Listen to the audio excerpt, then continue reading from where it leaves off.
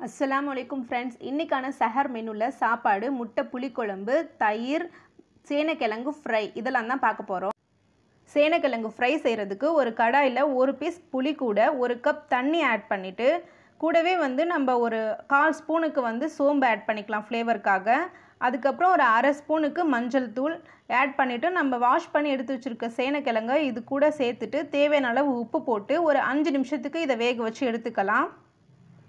இப்போ இந்த சேனைக்கிழங்கு ஃப்ரைக்கு தேவையான மசாலா ரெடி பண்ணிக்கலாம். ஒன்றரை ஸ்பூனுக்கு ம மிளகாத்தூள் ஒரு ஸ்பூன் மல்லித்தூள் ஒரு ஸ்பூனுக்கு வந்து மட்டன் மசாலா எடுத்திருக்கேன். ஒன்றரை ஸ்பூன் வந்து பெப்பர் பவுடர்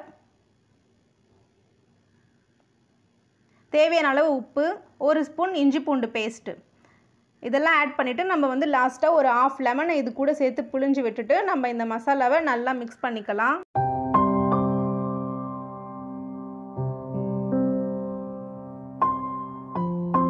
லைட்டாக தண்ணி சேர்த்து மிக்ஸ் பண்ணிக்கோங்க. பேஸ்ட் வந்து தண்ணியாட் ஆகிடுச்சுன்னா அந்த சீனக்கிழங்குல நம்மளுக்கு மசாலா ஒட்டாது. அதனால் கொஞ்சம் கெட்டியாகவே வந்து நம்ம கலக்கி வச்சுக்கலாம். நம்ம வேக வச்சு எடுத்துருக்க இந்த சேனைக்கிழங்கை வந்து நம்ம ரெடி பண்ணியிருக்க மசாலா கூட ஒவ்வொரு பீஸ்லையாக வந்து நம்ம மசாலாவை ரெண்டு பக்கமும் வந்து மசாலா நல்லா கோட் ஆகுற மாதிரி ஒவ்வொன்றா நம்ம தனித்தனி பீஸாக அப்ளை பண்ணிவிட்டு ஒரு ஆஃப் அன் ஹவருக்கு ஃப்ரிட்ஜில் வச்சிடலாம். சைடில் முட்டை புளிக்குழம்பு செய்கிறதுக்காக ஒரு எம்டி கடாயில் வந்து ஆயில் எதுவும் ஆட் பண்ணாமல் ஒரு கால் ஸ்பூன் வெந்தயம் ஒரு ஸ்பூன் மிளகு சீரகம் ஆட் பண்ணி நம்ம ட்ரை ரோஸ்ட் பண்ணி அதை கலர் சேஞ்ச் ஆனதும் எடுத்து தனியாக வச்சுட்டு அதே கடாயில் ஒரு ஒன்றரை ஸ்பூனுக்கு ஆயில் ஆட் பண்ணிவிட்டு ஒரு ஆறு பீஸ் பூண்டு ஒரு கைப்பிடி சின்ன வெங்காயத்தை நான் இது கூட ஆட் பண்ணிவிட்டு நல்லா இதை நம்ம வதக்கிக்கலாம்.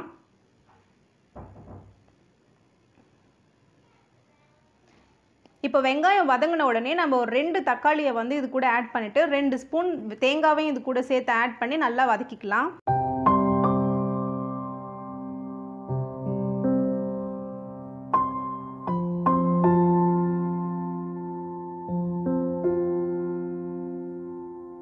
நல்லா வதங்கின உடனே நம்ம வந்து இது கூடவே வந்து நம்ம பவுடர்லாம் ஆட் பண்ணிக்கலாம். மிளகாத்தூள் ஒன்றரை ஸ்பூன் மல்லித்தூள் ஒன்றரை ஸ்பூன் மஞ்சள் தூள் கால் ஸ்பூனுக்கு ஆட் பண்ணி நல்லா நம்ம இதை வதக்கிக்கலாம்.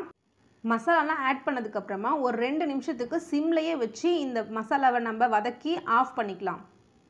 இப்போ ஆறுன அந்த மசாலாவை வந்து ஏற்கனவே நம்ம ட்ரை ரோஸ்ட் பண்ணியிருக்கோம் அந்த மிளகு சீரகம் வந்து எதையும் சேர்த்து ஆட் பண்ணி நம்ம இதை வந்து ஒரு பேஸ்ட்டாக அரைச்சி எடுத்துக்கலாம். அடுத்ததாக குழம்பு தாளிக்கிறதுக்காக ஒரு கடாயில் ரெண்டு ஸ்பூனுக்கு ஆயில் ஆட் பண்ணிவிட்டு எண்ணெய் சூடானதுக்கப்புறமா கடுகு சீரகம் ஒரு கொத்து கருவேப்பிலையை போட்டு அது பொரிஞ்சதும் ஒரு கைப்பிடி சின்ன வெங்காயத்தை நல்லா பொடியாக கட் பண்ணி அது கூட சேர்த்து நல்லா வதக்கிக்கலாம். வெங்காயம் வதங்கின உடனே நம்ம அரைச்சி எடுத்து வச்சுருக்க அந்த மசாலாவை இந்த கூட சேர்த்து நல்லா வதக்கிக்கலாம்.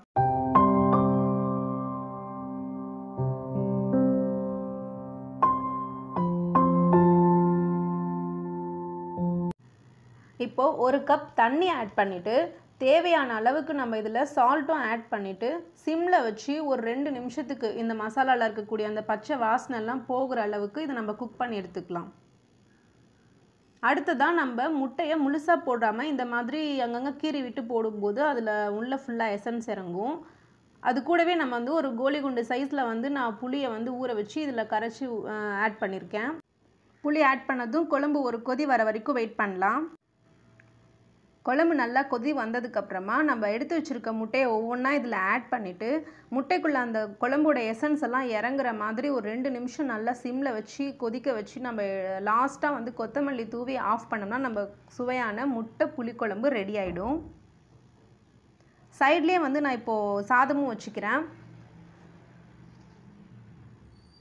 சாதம் நம்ம வச்சு முடித்ததுக்கப்புறமா நம்ம லாஸ்ட்டாக வந்து நம்ம சேனக்கிழங்கு ஃப்ரை வந்து போட்டு எடுத்துடலாம் ஒவ்வொன்றா மசாலா நம்ம இப்படி ஃப்ரிட்ஜில் வச்சும் நம்ம போடலாம். இல்லை நம்மளுக்கு மதிய டைமில் செய்கிறோம் அப்படின்னா நம்ம வெயிலில் வச்சோம்னாலும் நம்மளுக்கு நல்லா அதில் எசன்ஸ் இறங்கியிருக்கும். வெளியே வைக்கும்போது தண்ணி லைட்டாக விட்டுரும். அதனால் நம்ம ஃப்ரிட்ஜு இல்லைன்னா இந்த மாதிரி வெயிலில் இந்த மாதிரி இடத்துல நம்ம காய வைக்கும்போது அது நல்ல மசாலா வந்து அதில் ஒட்டி இருக்கும் மீடியம் ஃப்ளேமில் வச்சு எப்போவுமே பொரிச்சு எடுத்துக்கோங்க. நம்ம சேனைக்கிழங்கு ஃப்ரை நல்லாவே ரெடியாகி வந்துடுச்சு. இப்போ அதை ஒரு பிளேட்க்கு வந்து நம்ம ட்ரான்ஸ்ஃபர் பண்ணிக்கலாம்.